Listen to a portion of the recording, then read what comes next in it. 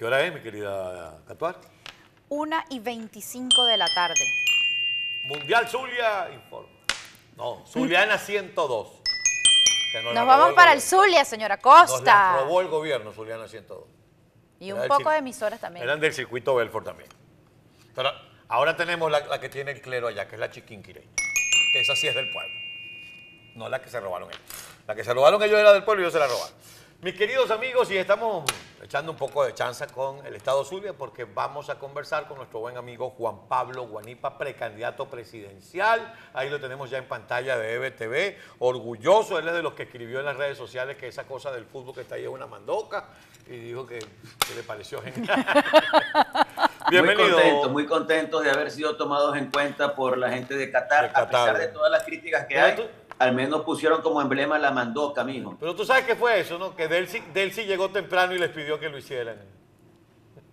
Értale, no sé, lo de Delcy ahí de verdad que no, Chico, qué no causa ninguna hilaridad. Bueno, Juan Pablo, vamos a conversar porque hace minutos estábamos eh, haciéndole una entrevista a el doctor Jesús María Casal, presidente de la Comisión Nacional de Primaria, y comentaba yo con la audiencia que la talla ética, moral, profesional y académica de los miembros de la comisión no está en duda, pero lo que hagan de aquí en adelante va a marcar la historia de ellos como profesionales, porque la gente los va a recordar. Y tú formas parte de esas actividades porque tú aspiras a ser candidato. Entonces, lo primero que quisieras es saber, desde tu óptica, cómo estás viendo el desarrollo de lo que van a ser estas primarias. Entiendo que ya empezaron a reunirse con todos los sectores, etcétera, etcétera. ¿Cómo está? Bienvenido. Miren, pri- Antes de que arranque. Muchas gracias, muchas gracias a ustedes y bueno, contento de estar nuevamente con ustedes a pesar de las inconsecuencias de Carlos Acosta. Pero lo, impo- lo importante de todo esto es que comparto tu opinión inicial con respecto a la comisión electoral. Te confieso que yo no me involucré en todo ese proceso de discusión de quienes a otros no tengo el gusto de conocerlos, pero sí tengo un excelente concepto de Jesús María Casal. Él en nuestro tránsito por la Asamblea Nacional fue consultor jurídico de la Asamblea y además es una persona muy conocida en el ambiente académico del derecho en el cual uno se desenvuelve y la información que tengo y la constancia que yo mismo puedo dar de su actitud es muy positiva, eh, junto con los otros que lo acompañan. Ahora, yo sí creo que nosotros tenemos que lograr que ellos tengan el soporte técnico, porque como tú lo dices, nadie pone en cuestionamiento eh, la idoneidad de ellos, pero hay que ver cómo logramos que ellos tengan el soporte técnico para poder realizar las cosas y realizarlas con eficiencia y con transparencia. Eso es muy importante. Recuerda que ya hay un reglamento. Ese reglamento, si algo le puedo cuestionar, es que muchos de los nudos que existían para su discusión fueron como dejados de lado. Es decir, muchos nudos se remitieron a la comisión electoral. Por ejemplo, todos queremos que los venezolanos que están afuera participen, pero en el reglamento no se estableció un mecanismo para ello y se le dejó a la comisión electoral.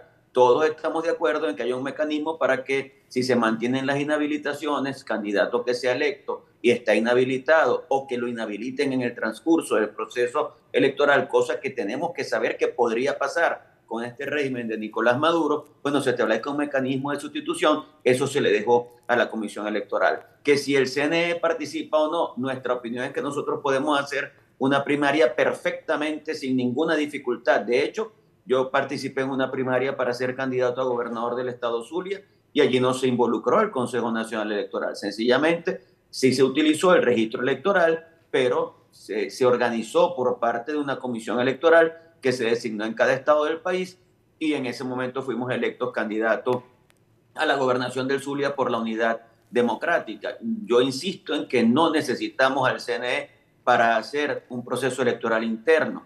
Así que bueno, son cosas que tiene que dilucidar también esta comisión electoral. Así que el papel, el trabajo que tienen no solamente es de ejecutar el reglamento, sino de tomar decisiones que son difíciles, que son álgidas y que ellos deben hacerlo garantizando que su credibilidad siga intacta.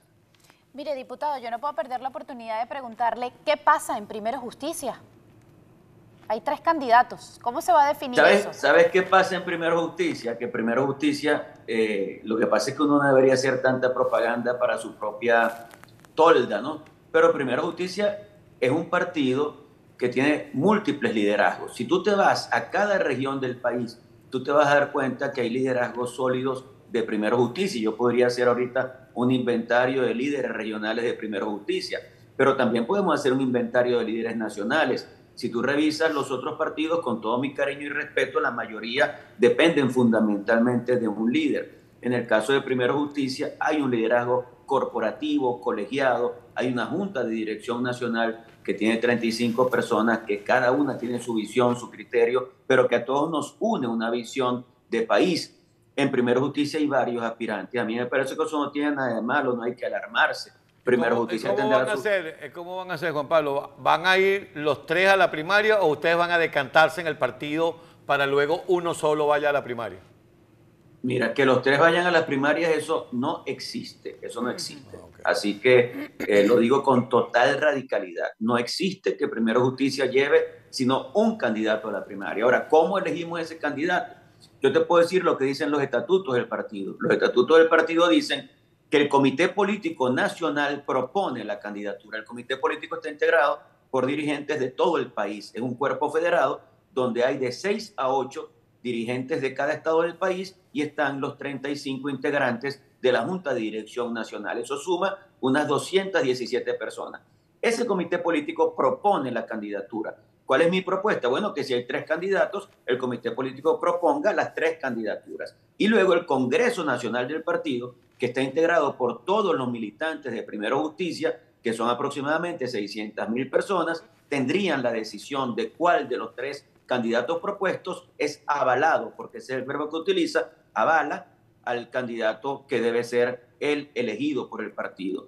Conclusión, los militantes del partido son los que deben tomar la decisión. Ahora, en este momento está dándose la discusión de un reglamento dentro del partido para la decisión de quién será el candidato, para elegir al candidato. Así que en ese proceso estamos. Nosotros aspiramos eh, en el menor tiempo posible poder tener un candidato presidencial y yo lo que he dicho es que siento que puedo aportar mi testimonio, mi trabajo, mi lucha, yo diría la, la coherencia, la consistencia en favor de representar la candidatura de Primero Justicia para las primarias, pero si el partido decide que el candidato es Oscar o que el candidato es Enrique Capriles, yo sencillamente apoyo la decisión. si yo voy como candidato a las primarias y resulta que otro candidato me gana, sea quien sea, yo lo apoyo. Es que nosotros lo que tenemos que tener claro es que nuestro objetivo es lograr el cambio político en Venezuela. Y eso no pasa porque uno diga, si yo soy el candidato, el cambio político se da. No hay forma de que se dé el, el cambio si yo no soy candidato. No, yo no estoy en esa actitud. Yo creo que aquí lo importante es que logremos que el cambio político llegue a Venezuela y sea cual sea el candidato, tenemos que acompañarlo con dos objetivos fundamentales y con esto termino. Uno, enamorar otra vez al país, mm. lograr que el sueño para Venezuela se pueda convertir en algo posible y que la gente sienta que es así y acompañe a esa candidatura. Y en segundo lugar, utilizar ese triunfo en las primarias para en la calle y conjuntamente con la comunidad internacional presionar para que las condiciones electorales puedan darse para ese proceso electoral del presidente de la República. El candidato, el candidato Enrique Capriles habría propuesto que para definir también este tema a lo interno de Primera Justicia que se hicieran unas encuestas. ¿Esto se ha tomado en cuenta o ya definitivamente quedó descartado y será esa propuesta que usted nos está explicando ahorita, que sea el seno del partido como tal, que hagan unas votaciones a lo interno y deciden quién es el candidato? Mira, las encuestas pueden ser un mecanismo para que los entes encargados de tomar la decisión puedan tener herramientas que les puedan permitir saber lo que piensa la gente, ¿no? Ahora, fíjate tú, yo tengo una realidad, a mí me falta por conocer el país, es decir, hay mucha gente en Venezuela que no sabe quién es uno, y eso se puede lograr con campañas presidenciales por las que se ha pasado Enrique. Si tú haces una encuesta en este momento, bueno, es probable que Enrique tenga eh, una popularidad superior a la mía en el sentido de que es una persona que ha sido presidente del Congreso Nacional, dos veces alcalde, dos veces gobernador, dos veces candidato presidencial y es un activo que está allí y que el partido lo puede presentar como candidato. Ahora, si tú haces una encuesta dos años antes del proceso electoral, es muy probable que ese resultado no tenga nada que ver con lo que va a ser el resultado electoral. Entonces yo acepto una encuesta como un mecanismo para la toma de decisión, pero no como el único mecanismo. Ahí hay que revisar muchas cosas. Ocari, por ejemplo, propone que sea a través de una elección, pero en la que participen todos los inscritos en el registro electoral, es decir, una especie de primaria previa a la primaria oficial. Ahora, yo lo que he dicho es, señores, si es el candidato de Primera Justicia, yo creo que los dirigentes y militantes de Primera Justicia son los llamados a tomar la decisión y cada uno de los dirigentes y militantes tendrán la responsabilidad para elegir el candidato que sientan que puede representar de mejor manera al partido en el proceso de las primarias. Ahora vamos a hablar del país. Vamos a hablar de la famosa postergada y requete postergada reunión de México.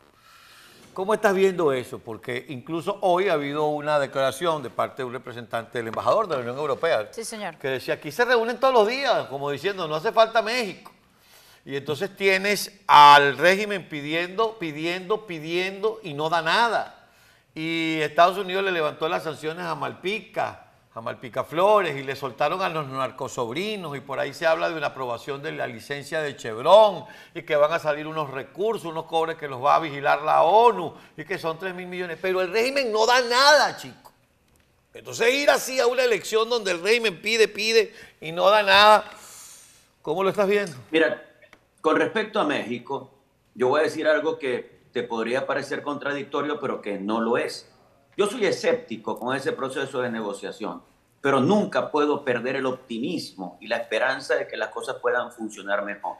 Yo siempre he creído que en un momento de conflicto como el que vive Venezuela, un proceso de negociación es necesario si las dos partes en conflicto, en este caso el régimen de Nicolás Maduro y la nación venezolana, porque el conflicto de Maduro no es con la oposición, el conflicto de Maduro es con la nación venezolana. Entonces, si hay conciencia de que hay un conflicto y ambas partes se reúnen con la convicción de conceder cada una para que el conflicto pueda tener una resolución, eso es totalmente válido. Ahora, la actitud del régimen es esa. Yo no veo esa actitud del régimen. Es como tú dices, ellos quieren ganar, ganar, ganar sin dar absolutamente nada. Y eso no tiene sentido. Ellos tienen que saber que tienen que conceder. Es como el tema de las sanciones. Yo quiero que se acaben las sanciones, pero las sanciones tienen una razón de ser. Y no fuimos nosotros los que impusimos las sanciones. Las sanciones las impusieron gobiernos de distintas partes del mundo. ¿Y por qué? Porque veían cómo se perdía la democracia en Venezuela.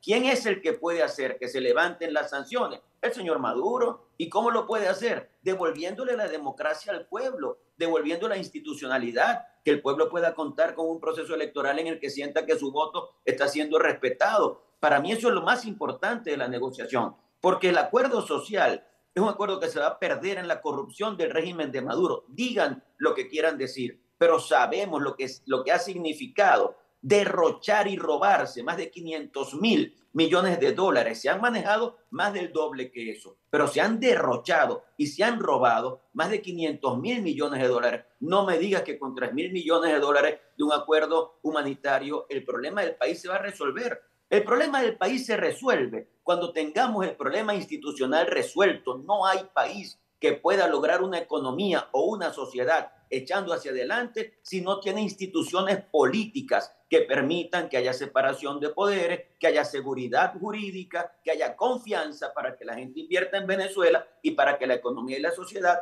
puedan echar hacia adelante. Así que la razón fundamental de esta lucha es lograr que se produzca el cambio político y con ese cambio político relanzar a Venezuela en un gran plan de transformación nacional. Eso es lo que tenemos que entender, todos los que estamos dando esta pelea en Venezuela. Diputado, tenemos que hacer una pausa, pero antes le quiero dejar una pregunta en el aire y tiene que ver con todas las diferentes informaciones que de manera extraoficial se han conocido con respecto a estas posibles negociaciones entre, la, entre ustedes y el régimen de Nicolás Maduro. Y una que suena y suena y se repite es que en conversaciones con Estados Unidos se habría llegado a una especie de preacuerdo de que si se van a unas elecciones presidenciales en el 2024 o en el 2023, ahí se va a respetar a quien gane. Y si gana Nicolás Maduro, bueno, entonces será Nicolás Maduro. De hecho, hasta se ha hablado de unas garantías para el perdedor. ¿Esto realmente es así? ¿Qué se ha conversado con Estados Unidos? ¿Qué puede usted adelantar además de esto?